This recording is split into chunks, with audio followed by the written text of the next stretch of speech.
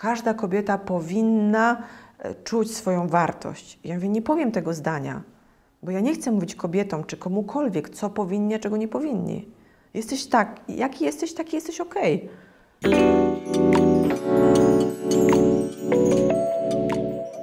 Drodzy, moim gościem jest Kasia Ankudowicz. E, wedle tego, co napisałaś na swoim Instagramie, jesteś w takiej kolejności aktorką, mamą, feministką i aktywistką. E, czy jesteśmy w stanie jeszcze dopisać rolę albo kim jest jeszcze Kasia Ankudowicz? No wiadomo, pewnie tych ról jest dużo, w sensie, że one bywają. E, bywa się kimś przez jakiś czas, potem się przestaje, potem się jest kimś bardziej przez kimś innym, potem troszkę kimś mniej i tak dalej. Tak, tak to widzę przynajmniej. E, natomiast akurat taka kolejność, bo w, z tej strony chcę się przedstawiać jakby na Instagramie. Tak, to jest jakby e, tytuły tej treści, którą tam zamieszczam. Tak? Że przede wszystkim e, przedstawiam się ludziom jako aktorka. Potem Jak już ktoś wejdzie głębiej, to widzi, że jesteś też też, mamą. tak, tak. No I tam no, generalnie są takie tytuły tego, co tam, co tam umieszczam. No to zacznijmy od tej pierwszej definicji Twojej kolejności, czyli e, aktorstwo, aktorka. Jak to się w ogóle u Ciebie zaczęło? Każdy tutaj widzę, e, jak rozmawiam z aktorami, gdzieś ten początek, taka pierwsza zajawka była u każdego trochę inna. Ktoś był w jakimś kółku teatralnym, ktoś właśnie nigdy nie był, ale gdzieś lubił po prostu sceny i chciał zaryzykować. Jak to było u Ciebie, że ten jeden moment, kiedy czujesz, że wtedy pomyślałaś, kurczę, chyba będę aktorką, chyba chciałabym być aktorką. Tak, ja po prostu nauczyłam się wierszyka, mając tam kilka lat. Nie wiem, moja mama twierdzi, że miałam bardzo mało, ja myślę, że troszkę więcej jednak, nie może cztery powiedzmy. I nauczyłam się tego wierszyka i na straganie w dzień targowy. Jak ktoś przychodził do nas y, do domu, to ja po prostu ten wierszyk mówiłam.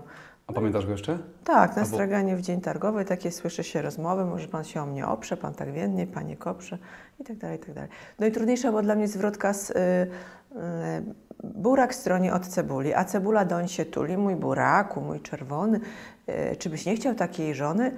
Burak tylko nos zatyka, niech no pani prędzej zmyka, ja chcę żonę mieć buraczą, bo przy pani wszyscy płaczą, a to feller, westchnął seller.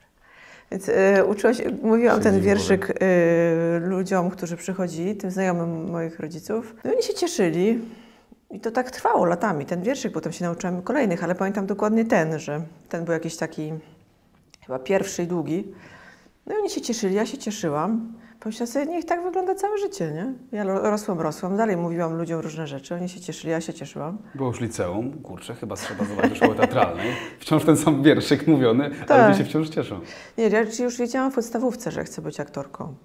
Naprawdę, w takiej wczesnej podstawce już skumałam, że o to chodzi w tych wierszykach, że się wychodzi na scenę i gra się różne rzeczy. W Morągu nie ma teatru, natomiast przyjeżdżały czasem jakieś spektakle, czasem chodziłam do kina, tam bardzo rzadko coś wyświetlano. No głównie telewizor e, był w domu i na tej podstawie rozumiałam, czy związek przyczynowo-skutkowy, że filmy to to samo w zasadzie.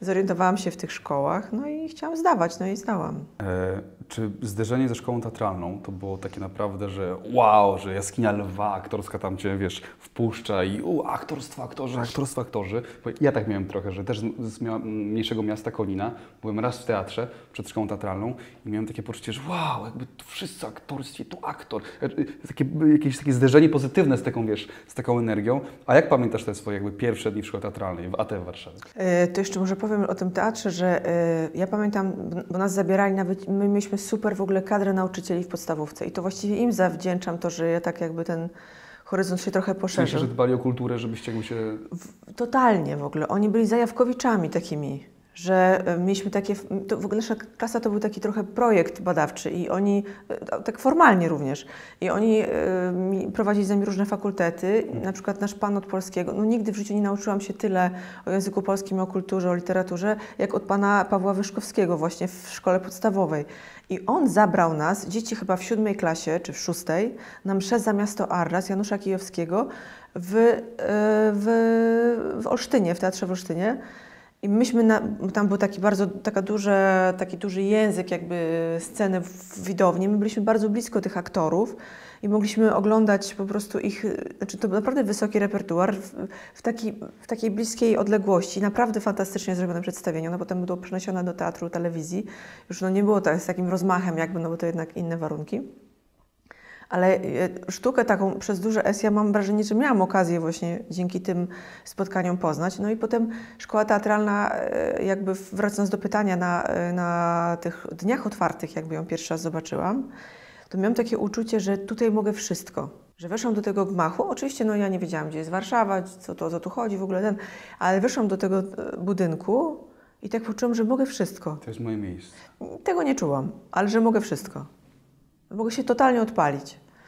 No i to uczucie trwało przez te dwa dni y, otwarte, potem trwało przez czas egzaminów, potem rozpoczęła się szkoła i jakoś tak po tygodniu przestałam to czuć. I przez cztery lata już tego nie czułam. No bo e, jak oka- Te, jakby... Wiesz, teraz się dużo mówi, dużo mówi o teatrze, o, wychodzą pewne grzechy, pewne niefajne rzeczy. Tak, ale ja to już mówiłam dawno, Eee. jakby to podejście pedagogiczne w ogóle takie, które mnie akurat zamykało. To jest, znaczy, to jest moje przemyślenie też, że często, i to chyba też nie tylko w teatralnych szkołach, tylko w wielu, że jakby nie zawsze dobry aktor będzie dobrym pedagogiem, a często ten troszkę gorszy aktor przeciętny ma jakiś perfekcyjny dryk, nie? Do, do tego, jak tę te, te wiedzę wpajać, jak po prostu kogoś otwierać. I, I wydaje mi się, że wielu pedagogów, też w krakowskiej szkole, w mojej, było trzymanych mimo już wielu bardzo, e, nie mówię, że skandalicznych, ale niefajnych zachowań, ze względu na nazwisko, na pozycję, na to, że to jest wielki aktor, nie? że jednak ktoś był wielkim aktorem, to był nieruszalny. Mm, Teraz o tym się już mówi głośniej, że pewnych rzeczy, na pewne rzeczy się nie zgadzamy, temu mówimy nie, temu mówimy nie, ale jestem ciekawy, czy jesteś w stanie powiedzieć, że szkoła teatralna, oprócz tego, że dała Ci wiele na pewno narzędzi i otworzyła, to w pewnych obszarach życia mogła Cię zamknąć i jakby nie pozwolić Ci wydobyć pełnej Kasi z siebie. Nie czuję, że mnie otworzyła w ogóle. Nie czuję tego w ogóle. Jeśli chodzi o taką e, wiedzę taką teoretyczną, to mam wrażenie, że nigdy się tak nie cofnęłam jak w trakcie szkoły teatralnej. E, Bo przedmioty teoretyczne u nas na przykład były, no, jakby z założenia wszyscy byliśmy traktowani trochę jak taka, mm, w cudzysłowie, może nie, może nie użyję tego cudzysłowa, może nie użyję tego słowa, którego chciałam użyć, ale generalnie jak tacy no, o ograniczonych możliwościach e, przyswajania wiedzy, co uważam nie było zbyt dobrym podejściem. Mieliśmy wspaniałych, jakby, wspaniałe nazwiska i takie autorytety teoretyczne, teatralne, natomiast sposób nauczania tak jakby systemowo jest kulawy, no jakby no, kiedy masz materiału, nie wiem, od teatru antycznego do średniowiecza i to jest jeden semestr, no to nie ma szans, żeby się tego nauczyć po prostu, więc y, y, przy takiej jeszcze ilości zajęć praktycznych, więc trochę tak produkowano takie, no nie wiem, myślę, że tam jest systemowy, wtedy, w tamtych czasach, 20 lat temu był problem systemowy. Teraz znam wykładowców z e, Warszawskiej Akademii, e, to są moi koledzy, z którymi gram w teatrze i, czy, czy w serialach i w ogóle nie ma takich rzeczy, jakie spotykały mnie. Ja nie mówię o tym, o tym systemie nauki y, przedmiotów teoretycznych, natomiast y, o, o komentarzach czy jakby uwagach aktorskich w rodzaju jesteś głupia, ty jesteś głupia. Y, No nie ma czegoś takiego w szkole w tej chwili. Więc to nie otwiera w ogóle, mnie nie otworzyło, mnie zamknęło kompletnie. Więc potrzebowałam też dużo czasu, żeby się z tego wydobyć. Ja miałam po prostu po, po szkole, nie chciałam iść do żadnego teatru. Jeszcze potem poszłam e, jakby gościnnie do jeden spektakl, grałam tutaj w Teatrze Narodowym i zaznałam tej hierarchicznej struktury w praktyce, tego, że właśnie do ludzi młodych się w ogóle nie odzywamy, nie widzimy ich, traktujemy ich jak powietrze. Yy, I fuksówka trwa po prostu całe życie. Ja powiedziałam, ja nie chcę być w żadnym teatrze, ja to walę po prostu. Ja zwariuję po prostu. Ja nie, nie nadaję się, no najwyżej, no trudno.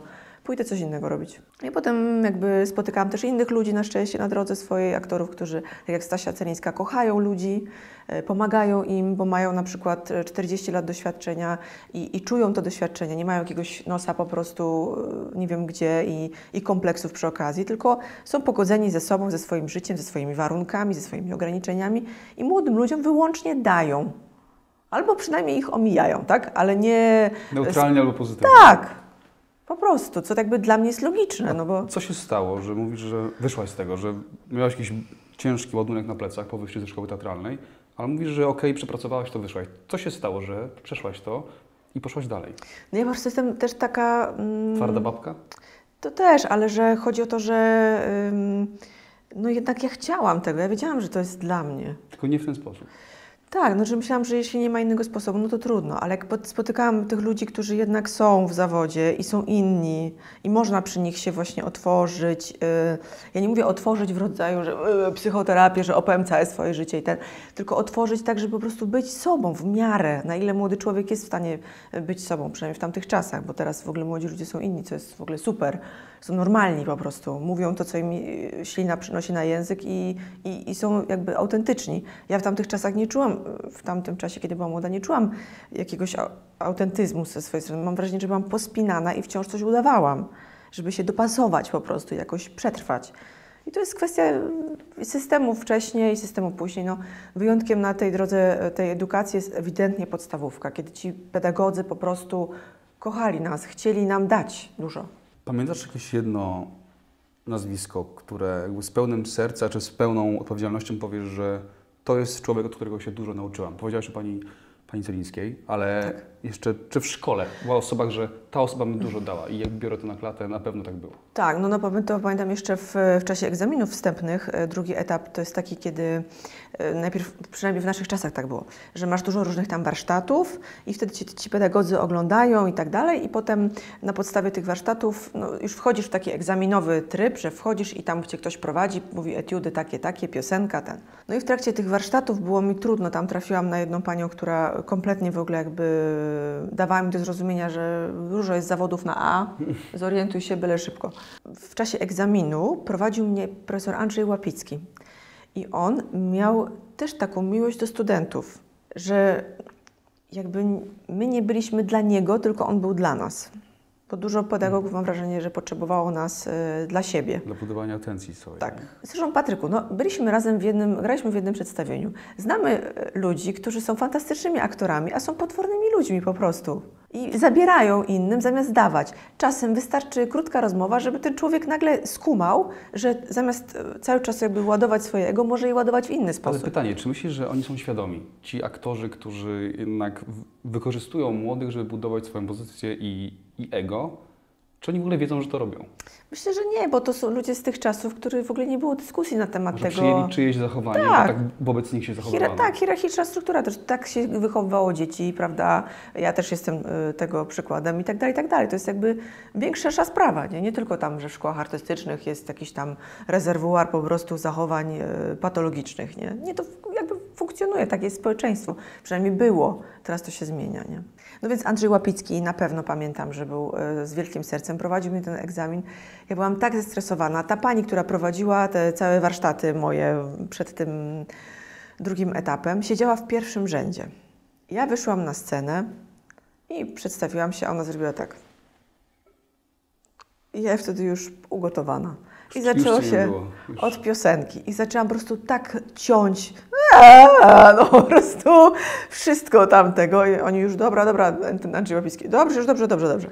To teraz sobie wyobraź, że i dał mi etiudę do tej piosenki, taką kompletnie rozluzowującą, bo piosenka była o takiej młodej e, dziewczynie, która se tam, sobie tam wybiera, taka ludowa piosenka, e, że wybiera sobie jakichś tam narzeczonych, a tu kowala, a tu tam kogoś, a tu kogoś i taka była pełna energii, werwy ten.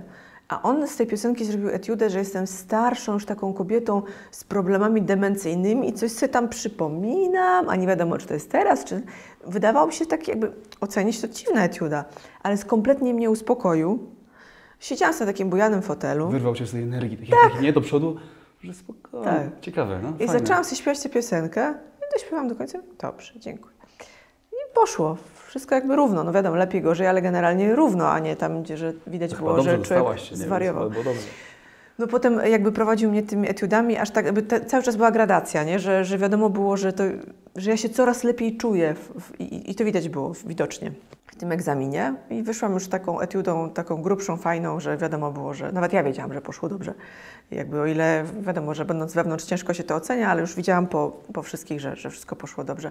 Ile mi dał, nie? Potem on nas uczył y, przez semestr scen klasycznych i był po, takim po prostu dobrym duchem, bo jeśli chodzi o warsztat, owszem, trochę, natomiast y, głównie takie wsparcie mentalne, że czuć było przy tym człowieku, można się właśnie jakoś tam w miarę bezpiecznie poczuć, nie trzeba się bać, że z której strony to y, uderzy. Nie? I też y, Zapasiewicz, który był drugim opiekunem mojego roku, E, Na drugim semestrze właśnie pierwszego roku e, dał nam takie spokojne sceny, już takie większe zadania aktorskie i tak jakby cały czas wskazywał na to, co w nas dobre. Co dobrze robisz? To robisz dobrze to, robisz dobrze to, robisz dobrze to. E, To bardzo dużo jakby dla mnie i też widziałam po moich kolegach, na wszystkich to bardzo dobrze i tak kojąco działało, nie? że czu- czuli, że coś w ogóle dobrze robią, bo po pierwszym Nie, semestrze w, w myśmy... dobie tego mówienia, że to Wszystko popraw, źle. to popraw, to popraw, to co ja Nawet tutaj nie robię. popraw, tylko źle, źle, No, źle, okej. źle. To, jest, to była taka technika i cały czas będziemy wyrzucać, będziemy wyrzucać, będziemy wyrzucać. Trzech z, was, trzech z Was odpadnie. Nie? No, no i nawet, no wiecie, to za dużo jest aktorów. Pierwsza rozmowa z opieką roką w Anną Seniuk po egzaminach wstępnych. Myślicie, że złapaliście Pana Boga za nogi? Otóż nie. Będzie bardzo ciężko. Aktorów jest za dużo, ról jest mało, pracy jest mało, także będzie bardzo ciężko. I co się włącza? To, żeby być lepszym od kolegi, nie? od koleżanki, znaczy podświadomie też, żeby to mnie, nie mnie wywalili. No niestety ja nie mam takiego mechanizmu i też myślę, że stety właściwie, bo y, wydaje mi się, że moje poczucie y, jakiej realności jest chyba bardziej logiczne, bo no, ty i ja to nie to samo. Nie? Ty Mhm. masz do, jesteś do innych ról, ja jestem do innych ról. To nie jest tak, że Nie, nie rywalizujemy, no bo nie, jak? No bo jak? nie robimy tego samego zadania matematycznego, ja rozwiążę je szybciej, a ty wtedy wolniej, wtedy ja wygram. Każdy z nas jest inny, dla każdego z nas jest inna praca albo jej brak. Nie ma sensu rywalizować. Ja raczej się wycofałam jakby z wyścigu w ogóle. Mam, po prostu miałam wrażenie, że jestem beznadziejna i, i tyle, nie? Po po rozmowie pierwszej semestralnej, kiedy usłyszałam, że gdybyśmy wyrzucali, wyrzucilibyśmy ciebie, no ale nie wyrzucamy, no to się ciesz. To się raczej nie ucieszyłam. Ojej. Więc koleżankę wyrzucono, no to właściwie ona sama odeszła, no ale powiedziano jej podobny tekst, więc ona potem e, dwie moje takie przyjaciółki po drugim e, semestrze były zagrożone. To, to nie ma ni- nic z tego, że ja będę pierwsza, nie? Chociaż po prostu jest głupie, uważam, rywalizacja w zawodzie artystycznym, nie? Bo każdy ma coś innego do zaproponowania i dodania. A to nie jest trochę tak, że. Bo teraz nam się pewnie łatwiej o tym mówi, mamy już jakiś dystans, też czas minął, ale chyba będąc tam wtedy w środku, w tej szkole teatralnej, rzeczywiście czując, że się złapało Pana Boga za, e, za nogi, za rogi, nogi, no to się złapało za coś po prostu.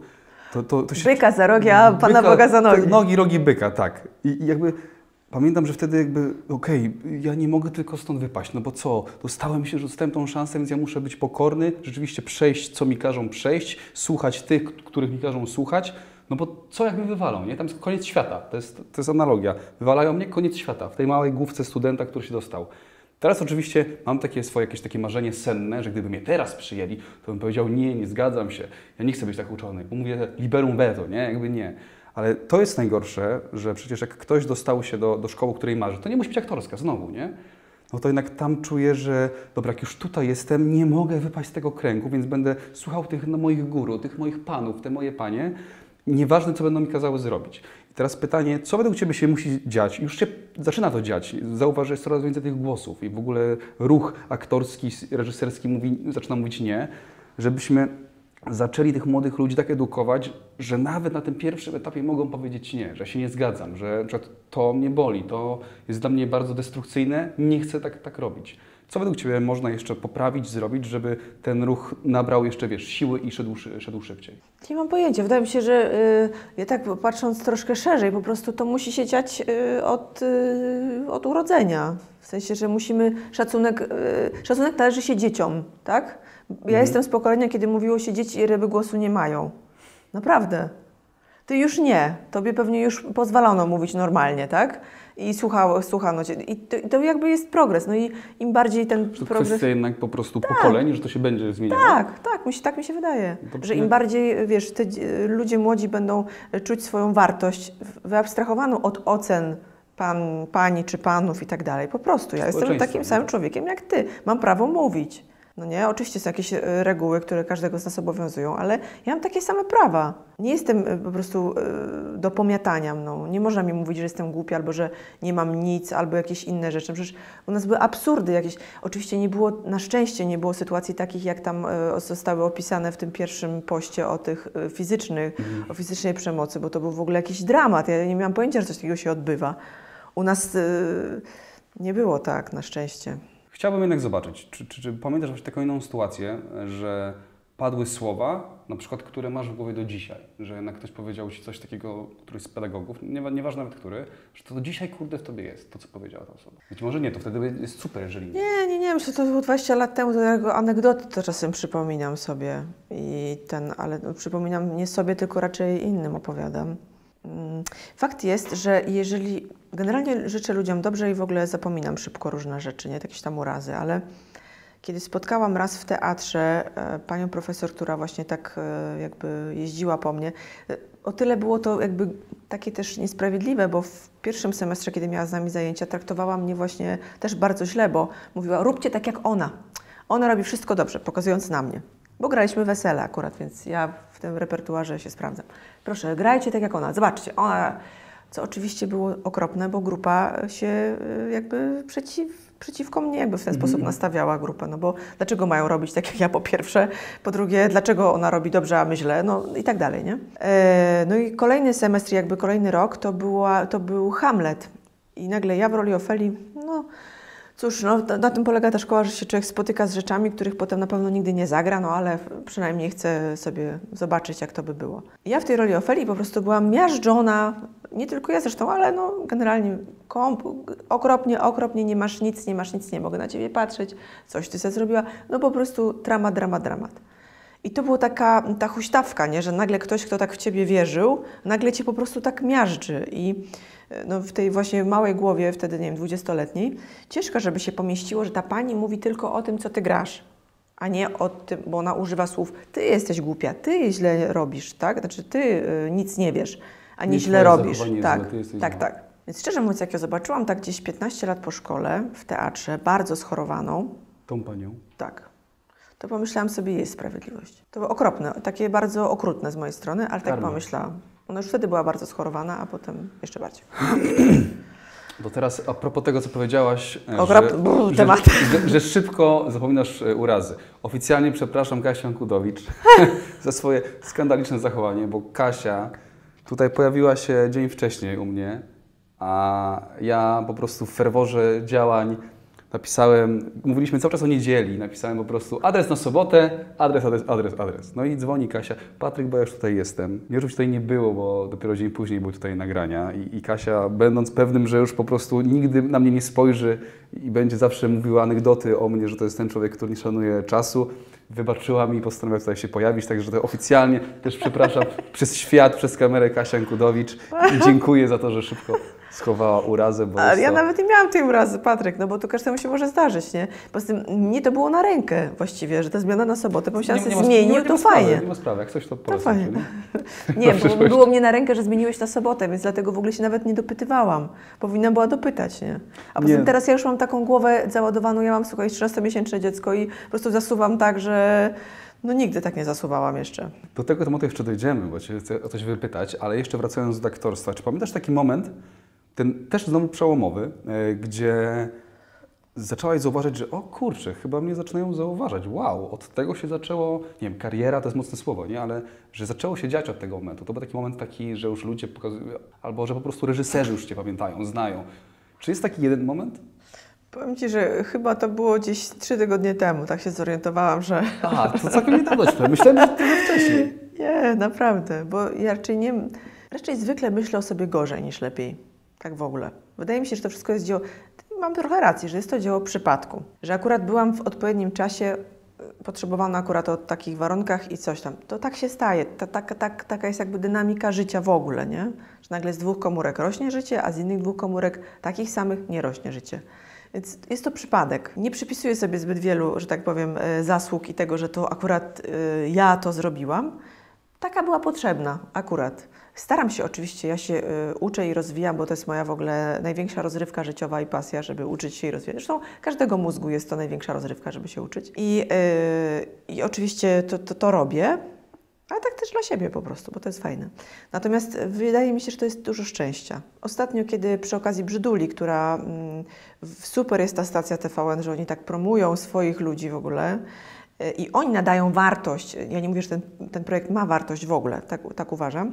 Natomiast y, oni też jakby tę wartość podkreślają, promują i tak dalej. I to jest super, bo promują też właśnie y, aktorów, którzy tam y, grają, twórców w ogóle.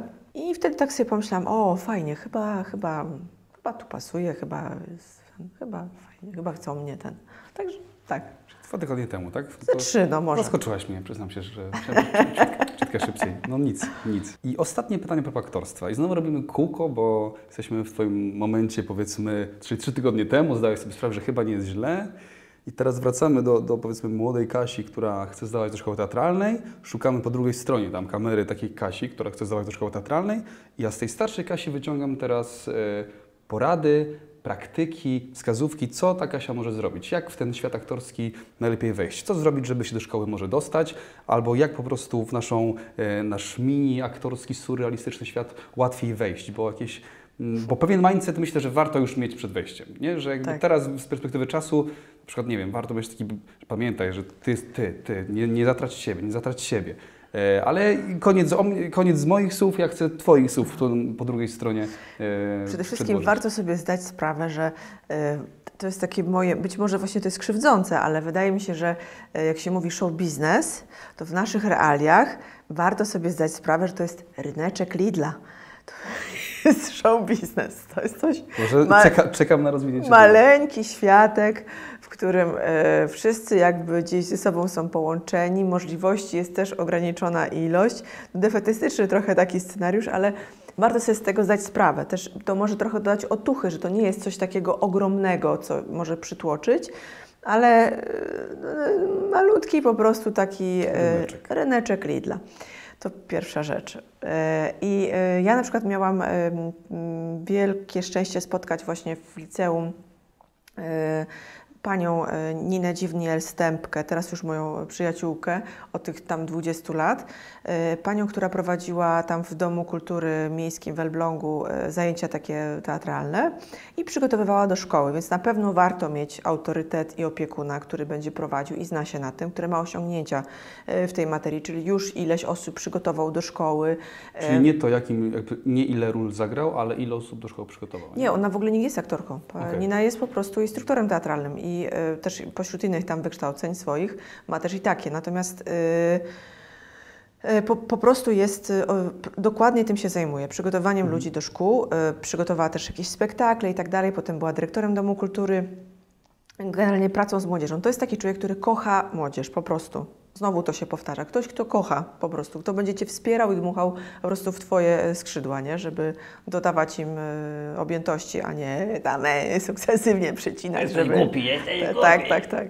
Żeby samemu piękniej błyszczeć. Zresztą to jest naprawdę tak żenujące, no, żeby... No to tak jak... e, No ludzie, no tak jakby po prostu dinozaur wszedł wśród chomiki i dziwił się, że jest taki ogromny, no. Po prostu jakby... No, że to jest natura jakby... Pamiętajmy, że dinozaur ma takie łapki, nie? To też jest ciekawe. No ale ma 6 tam metrów, czy ileś wzrostu miał, to już nie żyje, znaczy już nie istnieją w ogóle. No dobra, e, wracając do takich spraw serio, to właśnie najważniejsze to mieć kogoś, kto Cię prowadzi i kto jest w, w tym. Ja tuż wcześniej, przed tą panią, miałam, e, trafiłam do Wojewódzkiego Ośrodka Kultury, gdzie tam była pani e, Bożena, która właśnie słynęła z tego, że przygotowywała niezwykłą ilość ludzi. Ja tam się chciałam dostać, poszłam na to kółko, chodziłam ileś tam zajęć, przygotowałam wreszcie jakiś wiersz, powiedziałam ten wiersz przed nią. I, I zapytałam się o uwagi na koniec zajęć, bo ona przez te całe zajęcia nie, nie mówiła nic o, tych, o tym moim wierszu. Na końcu zapytam się Pani Bożenko, jakie uwagi? Nie wiem, nie słuchałam. Myślałam, że się zabije, naprawdę, bo to w ogóle... Także warto mieć kogoś, kto kocha młodzież, kto... e, jest dla młodzieży. Tak, i, i, i to jest jego jakieś tam powołanie, nie? Naprawdę, bo to jest rodzaj powołania. I super metody miała właśnie Nina, że jak najwięcej się pokazuj, w sensie nie PR-owym, tylko jak tylko znajdziesz kogoś, komu widzisz, że możesz zaufać, kto y, się zna, na przykład, nie wiem, starsza aktorka, starszy aktor czy coś, proś go o rady.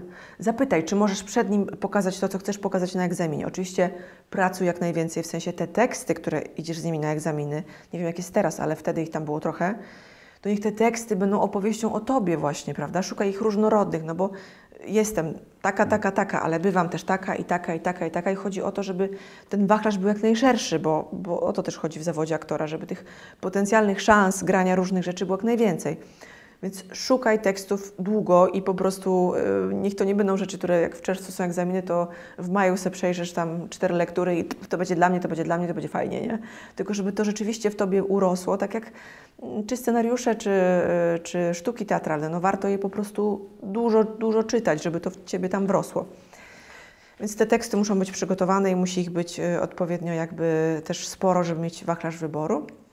I właśnie Nina też zawsze powtarzała mi, że jak jesteś na jakichś warsztatach, y, bo namawiała absolutnie do tego, żeby cały czas się rozwijać i, i y, chodzić na różne tam, teraz to się nazywa masterclassy, i, i właśnie te warsztaty oglądać i, i, ten, i, i być w tym, żeby jeśli tylko jest praktyka, moment kiedy mm, proszę pokażcie coś, to natychmiast po prostu zgłaszasz się i idziesz w to.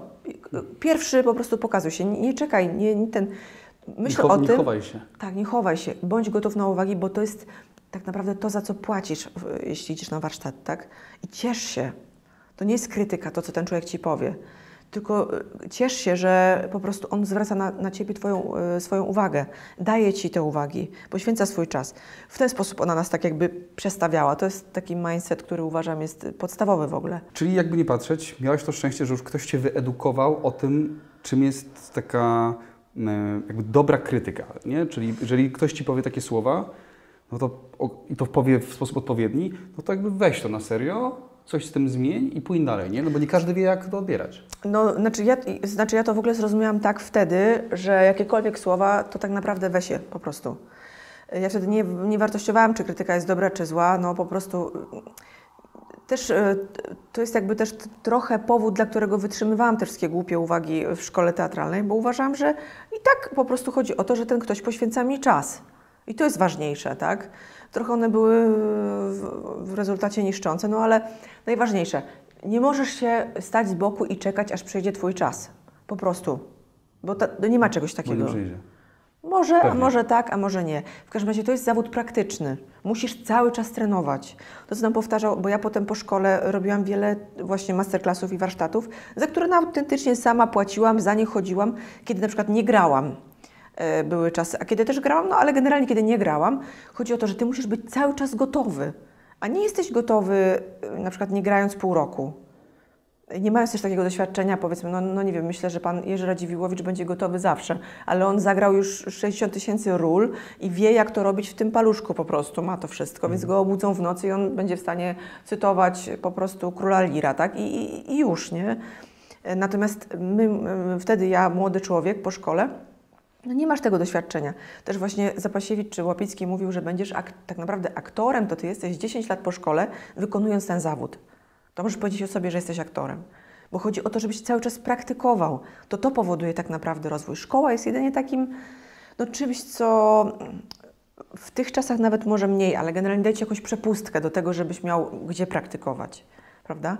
Ale chodzi o to, żeby ćwiczyć to to są rzeczy takie najważniejsze, żebyś otwarty, chcieć, chcieć, chcieć po prostu, to jest najważniejsze. Nie, nie, ale teraz młodzi ludzie w ogóle to mają tak, o, nie trzeba się tego jakby specjalnie uczyć, tak mi się wydaje. Ci młodzi ludzie, z którymi się spotykam, oni po prostu chcą, nie mają żadnych kompleksów z tego powodu, że chcą. Po prostu idą po swoje, nie? To jest super.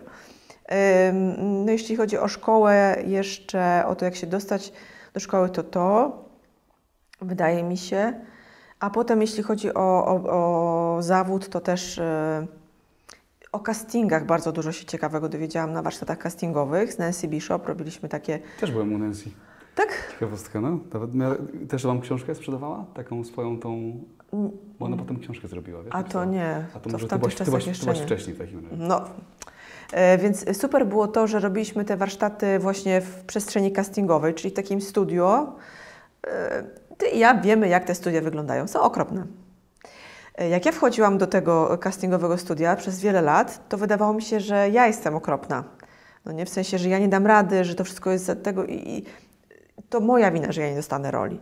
Ale kiedy zobaczyliśmy te sceny, które sobie tam robiliśmy w tych castingach, one były normalnie nagrywane i potem można było je odtworzyć, to mogłam zobaczyć obiektywne okoliczności, które wpływają na to, że to wszystko jest rzeczywiście no, dość, można ująć, surowe Okropne tło, okropne światło, wyglądasz najgorzej, yy, niepoświecona, niepoubierana, nie po ten, no, nie, to nie są warunki filmowe czy serialowe, gdzie wszyscy dbają o to, żeby wszystko było, przynajmniej w teorii tak powinno być, dbają o to, żeby wszystko było fajnie, tylko rzeczywiście to jest najgorzej.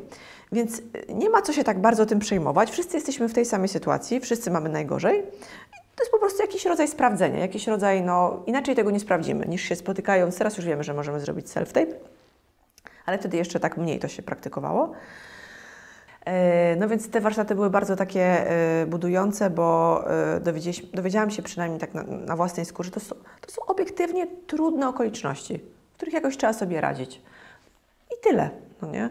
Te wszystkie castingi, no to stresuje, wiadomo, no ale to castingi, czy takie castingi w teatrze, no też są trudne, bo to nie jest tak, że ktoś ocenia Twoją pracę w wybudowanej dekoracji, w roli, którą próbujesz dwa miesiące, tylko masz jakiś fragment czegoś i, i na tej podstawie, no, szukasz po omacku Co, najczęściej. Robisz, coś robisz. Coś, coś robisz. Coś szukasz. Tak. E, Kasia to nie tylko aktorka, Kasia to również mama. To mnie ciekawi, bo ja nie jestem rodzicem jeszcze, więc będę tutaj typowo pytał i zupełnie nic nie mówił, ale co w Twoim życiu zmieniło to, że pojawiło się małe szczęście? Jakby, czy czujesz, że to zmieniło w moim życiu naprawdę wiele rzeczy i to jest jakby fakt niezaprzeczalny. I czy możesz powiedzieć, czym jest ta zmiana? Jak te zmiany definiujesz? Jeśli chodzi o rolę matki, to ona nie jest mi tak obca, y, że tak powiem, przez y, ostatnie ileś 11 lat y, właściwie ona była, ja, ją w jakiś sposób wykonywałam, tę rolę, bo opiekowałam się swoją siostrą, która teraz jest już dorosłą osobą, ale wtedy jeszcze, kiedy zaczęłam się nią opiekować, była taką no, nastolatką. Więc jakby rola matki nie jest mi obca. Jest troszkę inaczej opiekować się nastolatką. Trochę trudniej, a trochę łatwiej.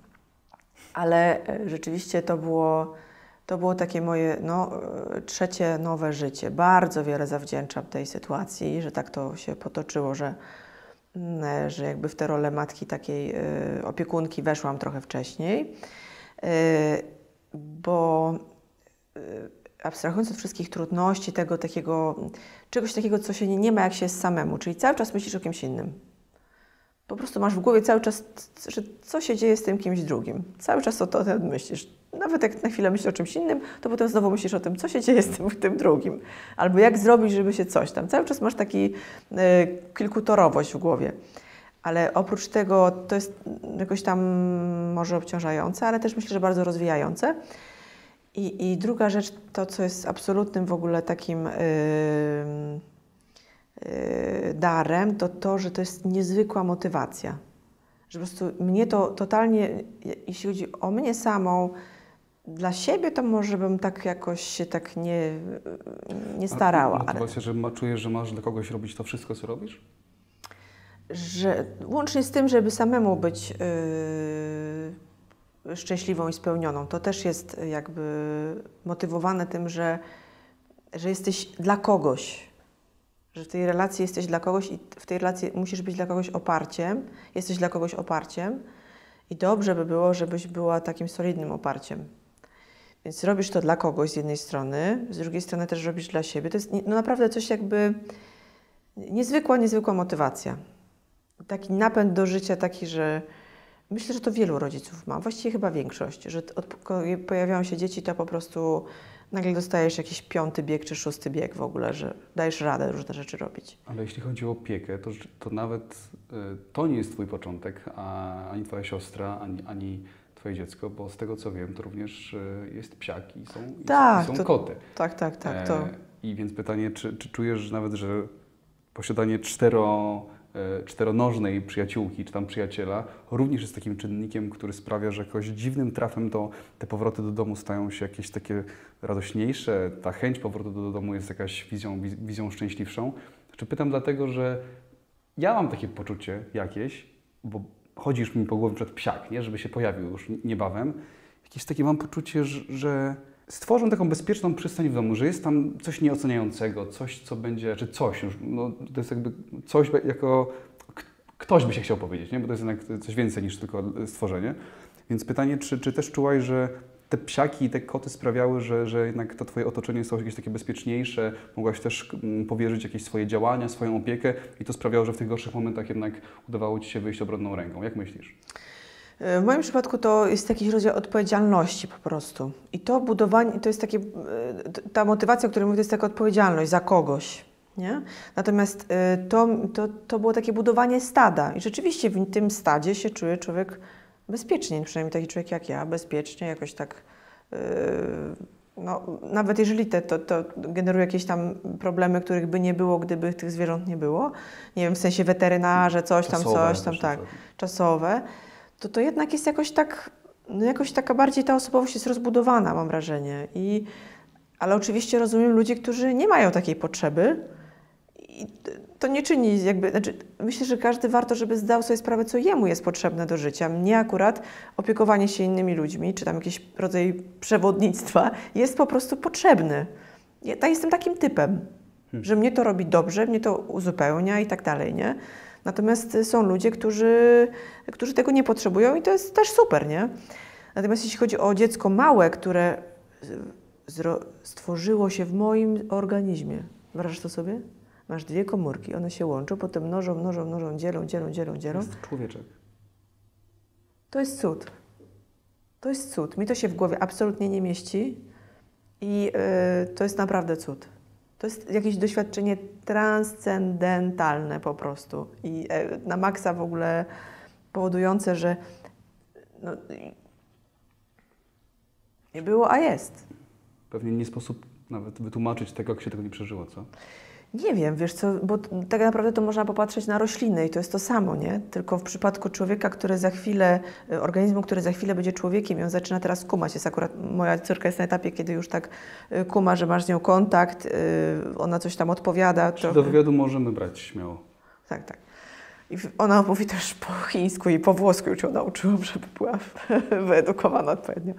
Nie, nie, chodzi o to, że masz wrażenie, że to jest jakby ten sam gatunek, nie? Że to jest nie liść, kurczę i pies, tylko ten sam gatunek. To jest, To jest naprawdę człowiek. dla mnie coś wow. I na przykład to dla mnie jest. y, y, Ja no nie potrzebuję, jakby ja nie jestem osobą y, religijną w rozumieniu, że wpisuję się w jakąś tam religię, czy to jest mi potrzebne, bo to jest dla mnie jakby wystarczające przeżycie transcendentalne i, i, i duchowe, żeby patrzeć na jakby y, rozwijające się, czy to są rośliny, zwierzęta, czy ludzie. Życie jakieś. Życie. Na życie. E, oprócz tego, że Kasia jest aktorką i jest e, mamą, to Kasia ma na tyle jaj, żeby pozwać smog. Nie mylić ze smokiem wawelskim. No, o smogu przez G na końcu. Ile musiał być sobie frustra- frustracji i złości, że stwierdziłaś, że pozywasz smog? Znaczy, dla mnie to jest abstrakt, że ja na dzień dobry powiedział, że przecież nie mam szans, że co, co ja, człowieczek mały, mogę zrobić jakby z takim wielkim problemem. Znaczy, bo to jest coś, co ma, wydaje mi się, mnóstwo osób.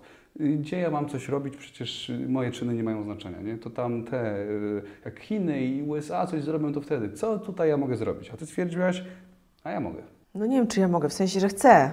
No dobrze, ale Co- co, chcę dalej? zrobiło się mogę, bo chcę, no to znaczy jeszcze musisz działanie podeprzeć i ty wykonałaś jakieś działanie. Tak, tak, tak. No w każdym razie y, trzeba sobie zdać sprawę, gdzie jakby leży źródło problemu. Ja sobie tak zdałem sprawę. Nie? No nie jest problemem to, że sąsiad pali w piecu, nie jest problemem to, że ten diesel odpalony pod moim oknem. E, tak, tylko e, problem jest systemowy. I dlatego trzeba adresować to do systemu, a nie do tych. e, Kowalskich. Tak. No i e, udało nam się tu współpracować właśnie z radcą prawnym Radosławem Górskim, który opracował całą strategię, tą, tą indywidualną. Szukałam ambasadorów. E, nie było ich wielu, naprawdę było trudno, jakby, bo mm, dużo osób jakby z naszego środowiska mówiło, że mm, nie, Nie, nie, razi mnie. To nie o to chodzi. To po prostu problem jak problem, bo to jeszcze może tego, ale y, niby moje dziecko ma astmę, ale wiesz co, nie będzie dobrze to teraz widziane, żebym ja się angażował w jakieś wiesz, rzeczy, bo to może być odebrane, a ja akurat będę chciał nową tutaj rzecz promować swoją. Także nie bardzo będzie to, wiesz, y, na przykład taka odpowiedź, nie? Mhm. Żeby nie zwracać za siebie uwagi, tak troszeczkę, to może być polityczne czy coś.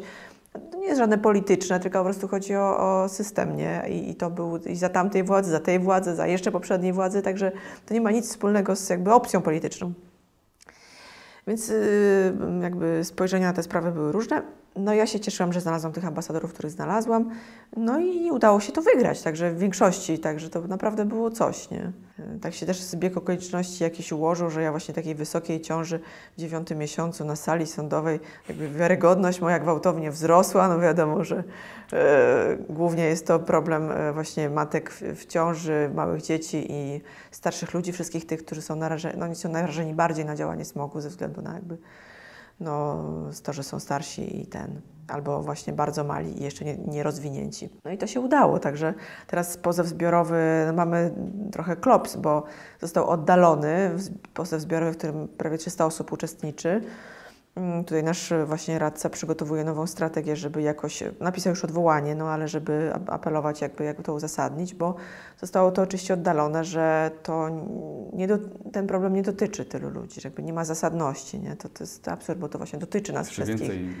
45 tysięcy ludzi umiera z powodu smogu rocznie, więc jakby w Polsce więc no to, a też to, że ten, to zanieczyszczenie powietrza jest tak wysokie, też powoduje na przykład większą, e, większą ekspozycję na takie choroby, wirusy itd., tak itd. Tak to jest już udowodnione, tak? Ten COVID jest e, wtedy jakby na przykład COVID, czy grypy, czy, czy anginy i tak. Wszystkie te choroby są wtedy bardziej, jesteśmy na nie bardziej narażeni, przez to, że jesteśmy obciążeni tym zanieczyszczeniem środowiska, nie? E, to wychodząc za chwilę z ciemnego, szarego tematu smogu, chciałbym się mm, na chwilę zatrzymać przy temacie szczęścia. I dwutorowo, no bo z jednej strony Twoje postaci to raczej są postaci komediowe. komediowe. Czuję, że do, też jak graliśmy razem spektakl, też byłaś, to była komedia. I czuję, że lubisz takie to swoje amplua komediowe, że się dobrze czujesz tam w tej, w tej przestrzeni. I reasumując, mam przeczucie, że lubisz rozśmieszać ludzi, lubisz zostawiać ich z uśmiechem na twarzy. Więc pytanie moje pierwsze jest, e, czy masz jakąś swoją taką receptę? Czujesz, że wiesz, co bawi ludzi i jakich rozśmieszyć. tak, mam trzy kawały w swoim arsenale, które zawsze mówię.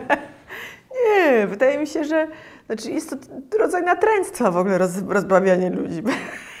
Uzależnienia już. Nie, po prostu mam nadzieję, że nie jestem już aż tak przykra jak niektórzy komicy, których po prostu nie można już słuchać. Staram się jakby kontrolować ten rodzaj natręctwa, ale może jakby się tak psycholog nade mną pochylił, to może pomyślał, że to jest jakiś rodzaj kontrolowania po prostu, że panuje nad nastrojem innych, nie? że tak zamiast zbadać, jaki on jest i się konfrontować z ewentualnym yy, yy, lubię, nie lubię, to ja po prostu natychmiast go zmieniam y, w mhm. lubię. Znaczy nie, wysłuchajcie, no po prostu chodzi o to, że y, życie jest jakie, jak, jakie jest i yy, wydaje mi się, że to jest w ogóle super się śmiać. Naprawdę, to jest naprawdę super się śmiać. I staram się nie przynudzać, yy, opowiadając żarty. Ważny jest rytm w komedii, więc trzeba robić to troszkę wolno, troszkę szybko i na końcu szybko. Słuchajcie, to są najlepsza aktorska rada Kasia Kudowicz. Proszę powtórz jeszcze raz. Trochę, trochę wolno, trochę szybko i na końcu szybko. Zapiszę sobie, bo właśnie nigdy nie będziemy grać komedię, już teraz, będę, już teraz będę wiedział. E, to teraz drugi tor mojego pytania o szczęściu. Jaki jest przepis Kasia Kudowicz na jej szczęście? Dobrze jest się troszeczkę oddalić. Od czego? w sensie perspektywę troszkę poszerzyć. Bo jeżeli jest się tak blisko, to wydaje się coś bardzo duże. A jak się troszeczkę odsuniesz, to wtedy to się wszystko jakoś tak składa. Abstrahując od tego, że warto y, właśnie się rozwijać, uczyć, to na pewno wpływa na y, podwyższenie, przynajmniej dla mnie, szczęścia. Nawet jeżeli to jest chwilowe, i, bo, bo rozumiesz, że tak generalnie to jest właśnie dzieło przypadku i tak dalej, i tak dalej. Rozumiesz te duże rzeczy, chociaż, znaczy rozumiesz to jest duże słowo, zdajesz sobie z nich sprawę, ale tak, żeby je zrozumieć i ogarnąć, to raczej nie. Ale wydaje mi się, że kluczowe jest to, żeby się troszeczkę oddalić, mieć troszkę taką szerszą perspektywę. I wtedy yy, łatwiej jest o szczęście. Łatwiej jest, żeby poczuć w środku, że jest się naprawdę szczęśliwym. Ta Brené Brown mówi, na pewno ty znasz jej y, pracę, to jest wybitna naukowczyni taka badająca emocje ludzi i zachowania, to y, mówi, że lęk jest immanentną częścią człowieka. On nas często paraliżuje i tak dalej, właśnie zwłaszcza jak jesteś rodzicem, myślisz sobie, co się stanie, co się stanie, co się stanie. Receptą na lęk jest wdzięczność. Zamienić to po prostu że w głowie. Co już mam, zdaję sobie z tego sprawę i, i poczuć rzeczywiście wdzięczność. To jest naprawdę bardzo blisko do szczęścia. Nawet na chyba najbardziej, jakby nie patrzeć, hardkorowym przykładzie, nie? że jeżeli chodzi nam ktoś bliski, no to tak pierwsza reakcja to jest absolutny jakby lęk, strach i Zaprzeczenie, tak. No i rzeczywiście po drugiej stronie tego lustra może być wdzięczność za ten czas, który udało nam się z tą osobą spędzić. To, czy to nie jest łatwy proces? Znaczy myślę, No że jest horrendalnie ciężki, nie? Ale rzeczy- rzeczywiście jest takie coś, że to my możemy finalnie zdecydować, po której stronie lustra będziemy patrzeć swoje odbicie, nie?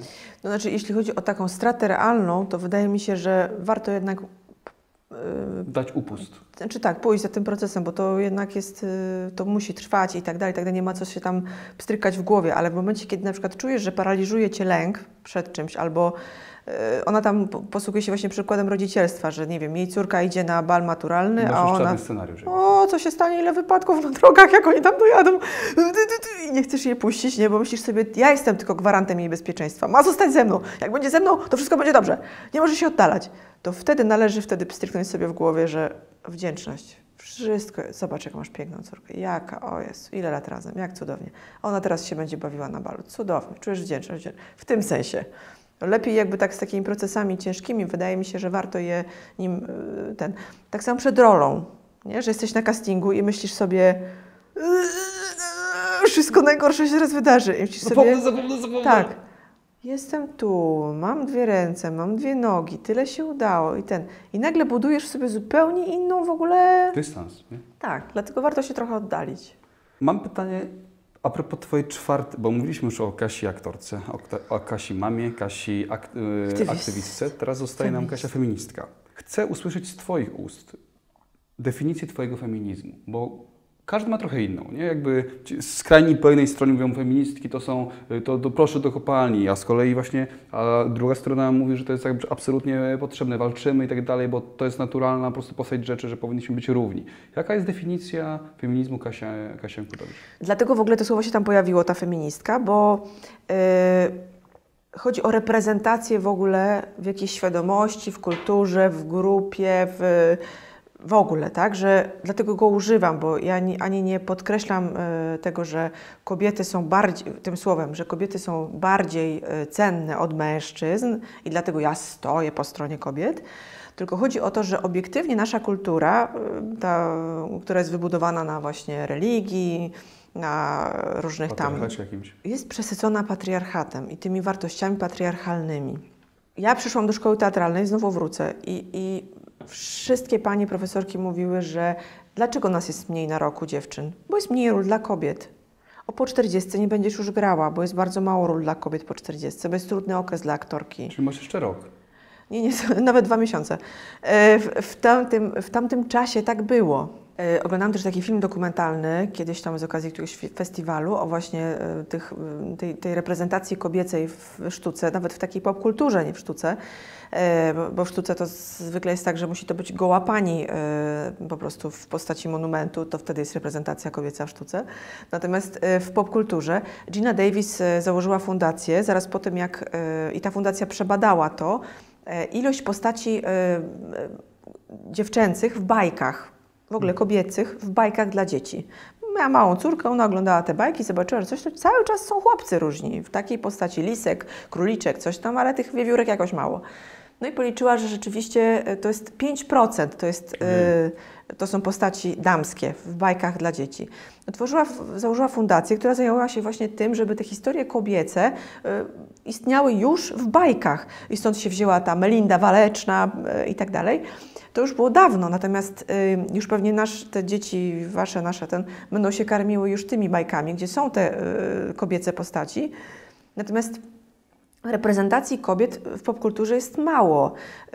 Y, Są takie przekonania na przykład, że kobiety powinny być jakieś, prawda, że powinny ładnie wyglądać. Y, To są jakieś stereotypy, które są w naszych głowach. Powinny mieć długie włosy, wtedy wyglądasz kobieco.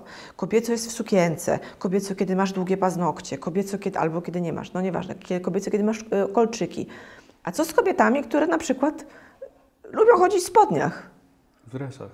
w dresach. Co z kobietami, które na przykład mówią coś głośno, bo mają taki temperament? Co z kobietami, które lubią mieć krótkie włosy? Jakby w tym sensie, tak? A u Ciebie to był ten imperatyw do ścięcia włosów? Nie, po prostu y, tak mi się chciało. Natomiast, y, żeby nam się chciało i żebyśmy mogły, żeby nikt nie, nas nie dopasowywał. Czy ja mówię, co jest, dla, co jest męskie? Jakby nie. Prawda? Oczywiście, że są te stereotypy dotyczące mężczyzn również i rola mężczyzn też jest trudna w tych czasach, bo ona się trochę przedefiniowuje z tej patriarchalnej na trochę bardziej ludzką, prawda? Co jest e, niełatwe również. Natomiast w tym sensie jestem feministką, że interesują mnie sprawy kobiet, chcę o nich mówić głośno, chcę nie, nie stawać właśnie po stronie, w sensie walczyć. Nie interesuje mnie walka w ogóle jako taka. Interesuje mnie tylko to, żeby pomagać wzrastać, prawda? I dawać y, przykład, że możesz być tak naprawdę każda i dalej być kobietą. Kiedy widzę na Instagramie którejś z takich naszych e, gwiazd, każda kobieta interesuje się modą, a ja nie. To znaczy co, nie jestem kobietą? Nie, rezygnujmy z tego. Jeszcze niedawno brałam udział w akcji takiej promującej właśnie siła jest kobietą. Każda kobieta powinna e, czuć swoją wartość. Ja mówię, nie powiem tego zdania, bo ja nie chcę mówić kobietom czy komukolwiek, co powinni, a czego nie powinni. Jesteś tak, jaki jesteś, taki jesteś okej. Jesteś wystarczający, nie? Czy jesteś kobietą, czy jesteś mężczyzną. W tym rozumieniu jestem feministką, że chcę jakby, żeby tej reprezentacji kobiecej e, w kulturze i, i, i w ogóle w, w jakiejś tam przestrzeni publicznej było jak najwięcej. Ostatnio miałem taką kminę e, i sobie zdałem sprawę, jak taki ostry patrar, patrar Patriarchalny. Patri... Widzicie? To jest już to jest ten moment. Bo jest już trochę tu gorąco i brak powietrza. E, patr... Patryk Czerniejewski. Patryk Czerniejewski. E, powtórz to, to, to słowo za mnie. Patriarchalny. Patriarchat, tak. Sprawił, że jakby moje pokolenie, bardzo wiele osób, jakby przyjaciół, znajomych, e, ma sytuację, że jeden z rodziców, szczególnie płci męskiej, miał problem z alkoholem. Nie? Jakby to jest, szczerze, nie wiem, 80% ludzi, że coś się działo. Miałem taką rozmowę z przyjaciółmi i tak mieliśmy, dlaczego tak się dzieje? I wydaje mi się, bo to jest tylko moja opinia, że była tak silnie osadzona ta pozycja faceta, twardego, który musi zapierdzielać na rodziny i tak dalej, gdzie nie było miejsca na, na łzy, na to, że ja coś czuję, mam z czymś problem, więc jedyną ucieczką był na przykład właśnie ten alkohol, no bo on wysłucha, on jakby, wiesz, nigdy... Odciął się na pewno. Zaczął się od jednego i potem to było coraz silniejsze, coraz silniejsze, dystans się budował, problem się powiększał.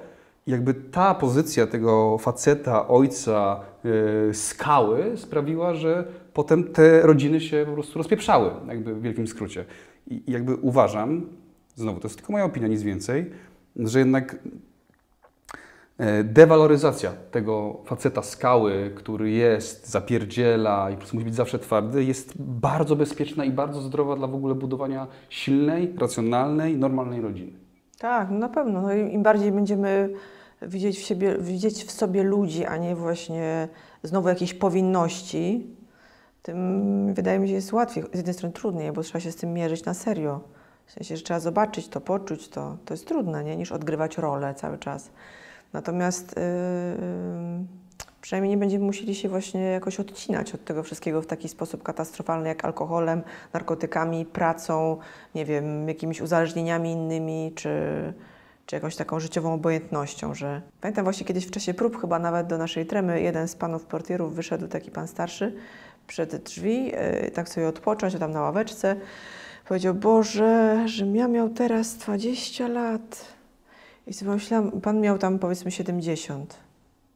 Czyli, że nie podpisuje się pod tymi 50, które minęły. Przykre, nie? Bo to jest jedyna rzecz, którą mamy tak naprawdę. Więc warto jakby, wydaje mi się, że to jest jedyny sposób na to, żeby w wieku tych 70 lat czy iluś powiedzieć sobie, okej. Okay. Fajnie było. No. Dobrze było. Teraz nawet jest fajnie. Y, Kasiu, w tej kamerze po drugiej stronie jest Kasia Gutowicz, która właśnie za chwilę będzie miała 30 lat. Cofamy się dokładnie o 10 lat do tyłu. Masz jedyną szansę w ogóle ever, żeby coś jej przekazać na podstawie tych Twoich 10 lat doświadczeń. Być może ona teraz potrzebuje coś usłyszeć, żeby jej łatwiej było wejść w 30, że, że jednak wiesz, że ona będzie silniejsza, jeżeli to teraz usłyszy. Czy jest coś, co chcesz jej teraz przekazać? Żeby nie pójść w jakiś bano, bo to nie da się jednym zdaniem, jakby. Yy... Ale generalnie to raczej nie przejmuj się tak. Będzie dobrze. Nie przejmuj się. Będzie różnie, ale nie przejmuj się tak. Właściwie tyle. Dobrze. Kat połączenia. Usłyszała Kasia Kudowicz, 29-letnia Twoje słowa. 39-letni Kasia Kudowicz, która, która, e, która jest aktorką, mamą, feministką, aktywistką, a za 10 lat chciałaby być jeszcze No jeszcze nie babcią, Właśnie, okej, czyli to Jeszcze skreślamy. nie babcią. Nie babcią, nie babcią, no to ma to sens, ma to sens. no bo wtedy okazywałoby się, że moja córka ma 10 lat i ma już dziecko, to nie. To- to nie Że tak. jest akceleracja rozwoju i ten Ale nastoletni... spokojnie, bez przesady. No właśnie. E, Kasiu, bardzo dziękuję Ci za, za rozmowę. E, Gościem w kanale Przed 30 była Kasia Ankutowicz, którą już dzisiaj raz przepraszałem i jeszcze ją przepraszam na, na koniec za, Nie ma co w ogóle. Nie Nie ma? ma, za co, w ogóle nie ma za naprawdę. co, e, za, moje, za mój poślizg, więc jeżeli, słuchajcie, chcecie kiedyś się spóźnić z czymś, to Kasia Wam zawsze, zawsze wybaczy. Nie powinienem tego mówić, ale Tak, Kasia, bo to nie jest reguła. Natomiast ja To chciałam dobra- powiedzieć, że podziwiam Patryk, Twoją przedsiębiorczość, Twoją inwencję po prostu, z jaką pasją Ty realizujesz te swoje projekty. To jest w ogóle wow, ludzie. Ja Ci bardzo kibicuję. Już Ci to mówiłam wcześniej, teraz Ci to powtarzam. Super. Oby tak dalej. bardzo dziękuję. Dziękuję. E, Także ja Ci dziękuję za zaproszenie właściwie. Po prostu. Do zobaczenia. Do zobaczenia.